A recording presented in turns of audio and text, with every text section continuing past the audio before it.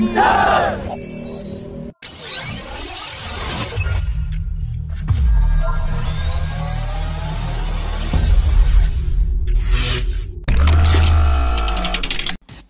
Nearly four years after walking out of the joint venture to develop fifth-generation fighter aircraft based on the Su-57, the AMCA program chief has said that the major bone of contention was that Russia had refused to provide India the computer source code that could have allowed India to carry out upgrades to the aircraft with local technology without any Russian assistance. The Su-57 was also found to be lacking in stealth characters, as the Sukhoi Design Bureau focused more on maneuverability rather than stealth, and failed to achieve the perfect balance that is required in the fifth-generation program. He also said that the AMCA is designed to match the Indian Air Force's requirements, and will be much cheaper and cost-effective buoyed by the success of the Tata Airbus partnership to manufacture C-295 transport aircraft in India, the Indian Air Force is keen that the procurement of 114 MRFA fighter jets follows the same Buy Global Make in India model, as it is less complicated than the strategic partnership model, and will enable quick delivery of fighter jets.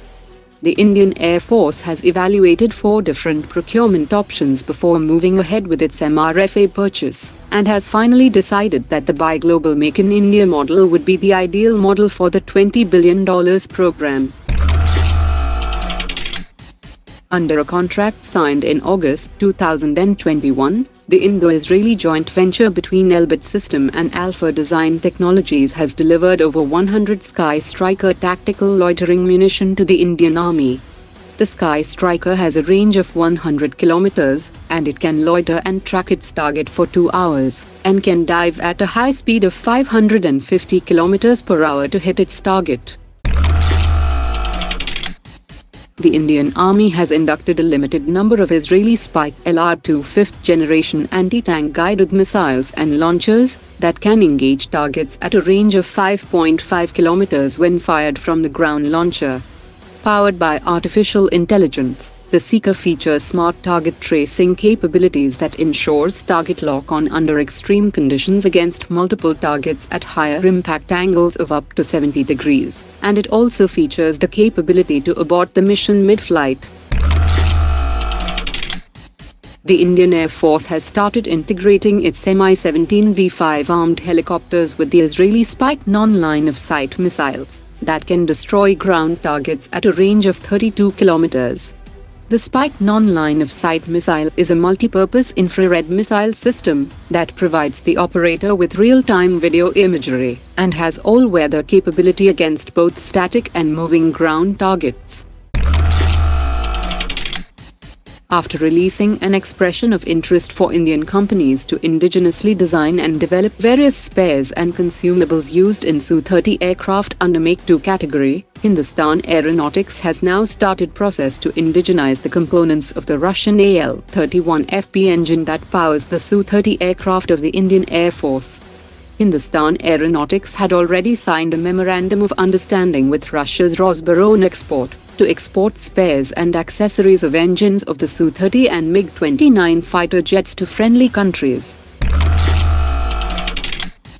The Indian Air Force and the DRDO had initiated a project to develop and manufacture new lightweight integrated dual-visor aircrew helmet and pressure-breathing oxygen mask for Su-30 aircraft Mirage 2000 and MiG-29 fighter jets. The integrated dual-visor aircrew helmet has now started fabrication, and it will weigh less than 1.5 kilograms. The Indian Air Force is looking to procure more CH-47 Chinook helicopters and has started the process to get the procurement cleared from the Cabinet Committee on Security. The Air Force is likely to press for seven follow-on orders of Chinook helicopters that are part of the original contract signed in 2015.